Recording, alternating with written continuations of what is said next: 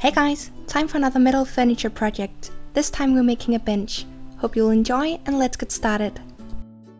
I have gone through the materials in a couple of other videos but I still get questions about it so I'll just quickly go through the things I'll be using in this video. First you're going to need some metal that you can solder, I'm using copper. The wire I'm using in this video is 0.5 and 0.25 millimeters.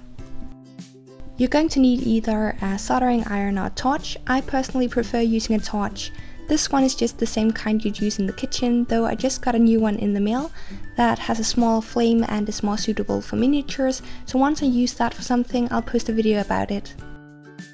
You're going to need solder, which is just a metal that will create the bond between the two pieces of copper. If you're going to make jewelry or something that will be handled a lot, I do recommend using this specific one as it's lead free pliers for bending and cutting your metal. I also use pliers to cut the solder into small pieces, which is just the way I prefer doing it. You're going to need soldering water, I think that's what it's called. It's chemicals, not actually water. The last couple of things you'll need are a fireproof surface, and then I'm also using this helping hand tool, which is just great for holding pieces while soldering. I first made a sketch of the design in the right scale. Each square on the paper is 5 millimeters.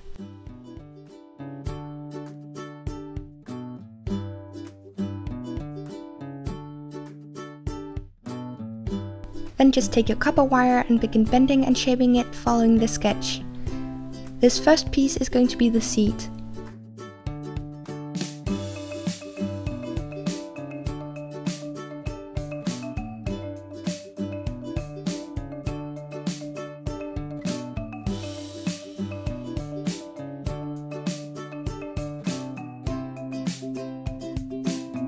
I then just placed it on the firing brick, brushed on some soldering water, added the solder and used the torch to melt it.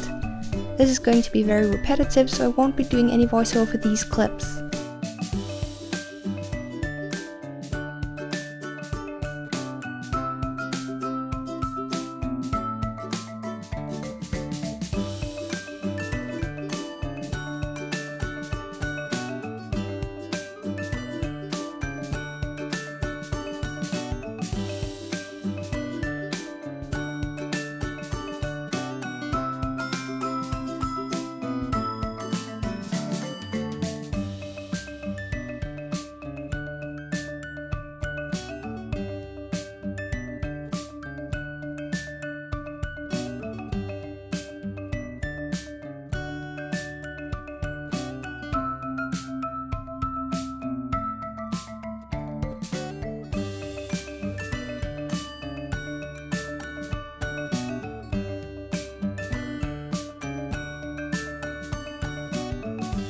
Then cut and bend all the pieces for the back and solder this together as well.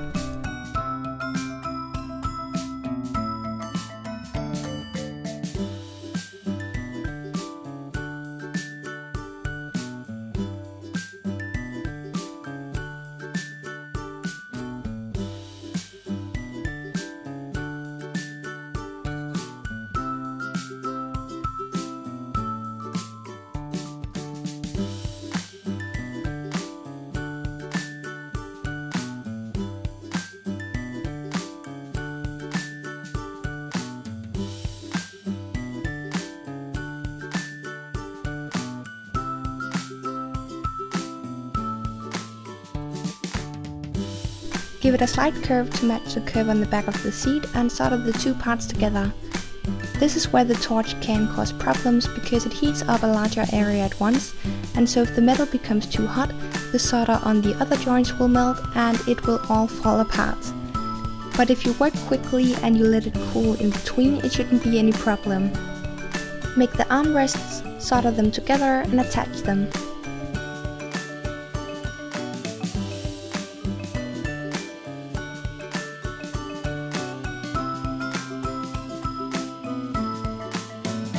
Lastly, cut and bend the 8 pieces for the legs and solder these together 2 and 2.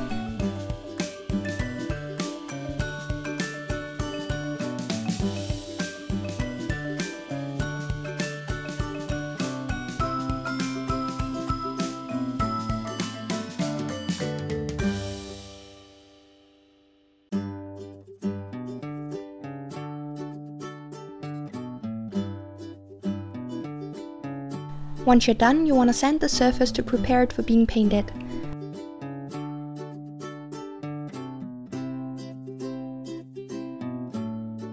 I first used a primer made for metal, then sprayed it with grey, followed by a thin coat or almost just a mist of black. If you want, you can keep it like this, but I decided to sand off some of the paint and add some patina.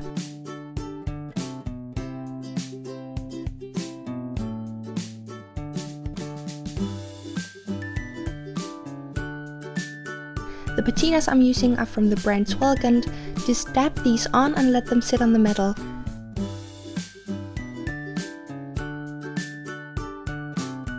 And to finish off, I just made a simple pillow the same way I made the comforter in my miniature bed tutorial. Hope you enjoyed and I'll see you in my next video.